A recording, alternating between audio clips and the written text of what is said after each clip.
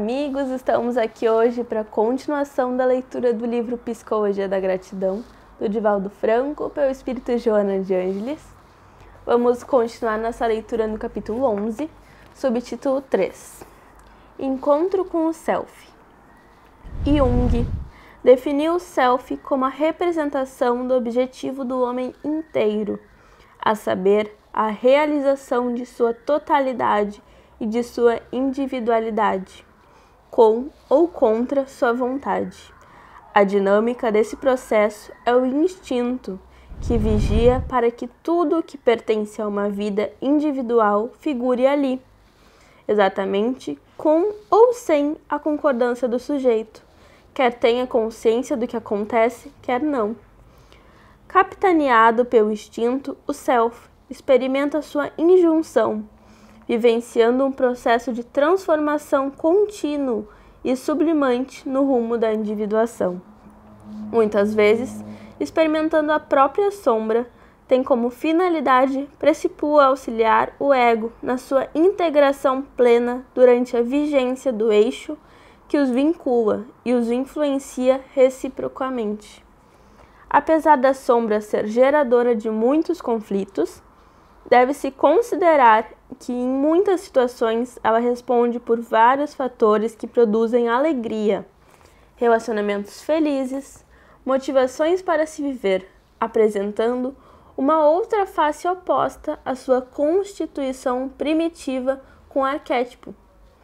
Na integração da ânima com o ânimos, a fim de ser conseguida a harmonia, a sombra contribui com uma boa parcela de entendimento das suas finalidades, facultando a vivência de ambos sem perturbação da persona, sendo ela o resultado da repressão de muitos sentimentos que não puderam ser vivenciados.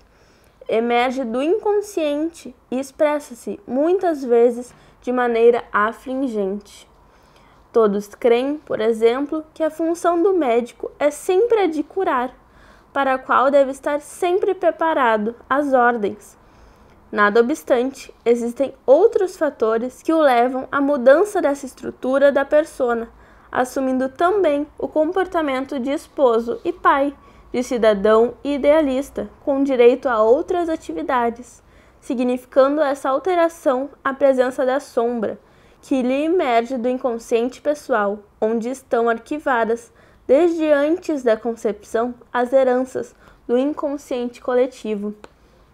Numa análise contemporânea, à luz dos ensinamentos espíritas, esses arquivos do inconsciente coletivo são resultado de vivências que o espírito realizou em reencarnações transatas através dos tempos, conduzindo essas heranças impressas no seu perispírito, na consciência, enquanto as vivenciando no seu período próprio.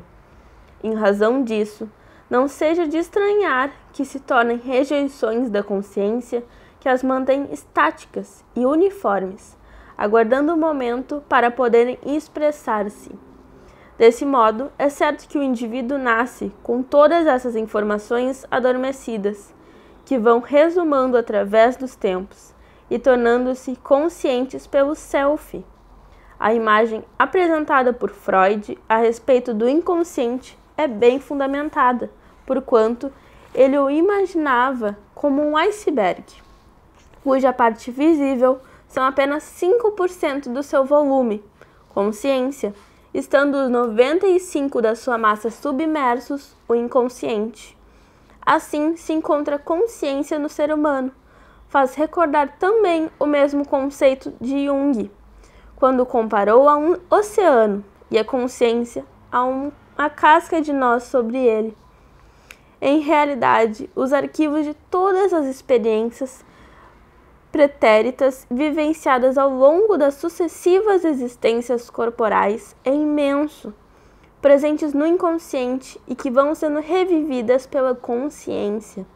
Nos momentos dos grandes transes de sofrimento, nos estados alterados de consciência, durante os estágios oníricos, quando são liberados automaticamente, permitindo que o espírito volte a vivê-los.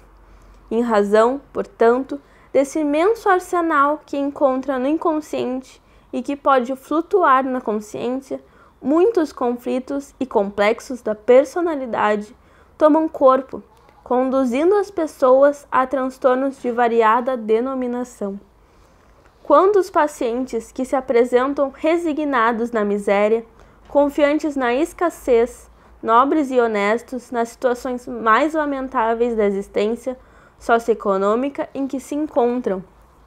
Em tal situação, prosseguem, exercendo os caracteres morais da existência anterior, quando se encontram em posição relevante no poder, no conforto, na dignidade e hoje experimentam o oposto, contribuindo em favor do self, harmônico com o ego nele integrado, formando a unidade. De igual maneira, existem aqueles que se apresentam soberbos e mal criados na pobreza, agressivos e raivosos, ostentando recursos que realmente não possuem, revivendo situações anteriores que não puderam ser dignamente cumpridas e voltaram ao proscênico terrestre em provas e expiações rigorosas.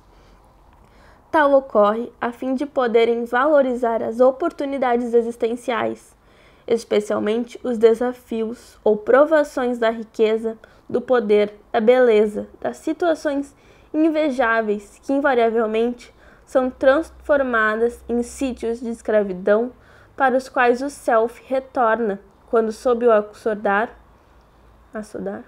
quando sob o assodar das recordações inconscientes. Os muito complexos de inferioridade ou de superioridade em que o expressivo número de pessoas estorcega, não conseguindo disfarçar as mágoas da situação em que se encontram, projetando o que se demora no inconsciente, na difícil condição que se transitam no mundo, tem a sua origem nas condutas mantidas em existências anteriores que não souberam utilizar ou aplicaram de maneira economiosa.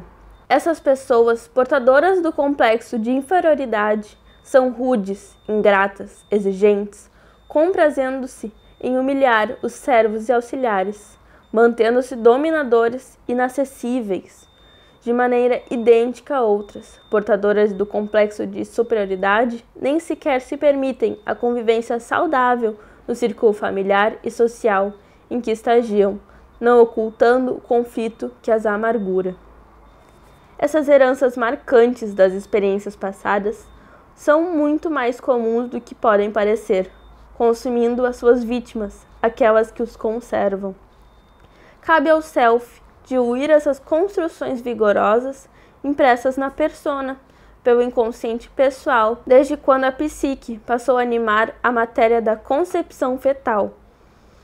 A adoção de condutas saudáveis com disciplina da sombra que se apresenta como um instrumento de execução dessas frustrações do processo evolutivo torna-se inevitável e de imediata aplicação. Mediante a reflexão, é possível ao self a constatação do que é e de como se conduz, esforçando-se por alterar as emissões mentais para outras condutas mais equilibradas, dentro dos padrões da saúde, que proporciona relacionamentos edificantes e compensadores, mantendo a postura referente às imagens reprimidas no inconsciente. Esses pacientes não têm noção do quanto devem à vida, tornando-se ingratos e reacionários quando ocorrendo uma mudança de atitude adquirida por intermédio da autoanálise, que faculta a identificação das mazelas, poderá começar por bendizer a vida, por ascender na escala dos valores, por vencer a empáfia, passando a agradecer a oportunidade de crescimento real para a felicidade. Será mediante esse esforço que o ego se entregará no self, sem que desapareçam os seus valores de alta significação. Esse foi o final do nosso terceiro subtítulo do capítulo 11. Espero que tenham gostado. Deixem seu like, se inscrevam no canal e muito obrigada.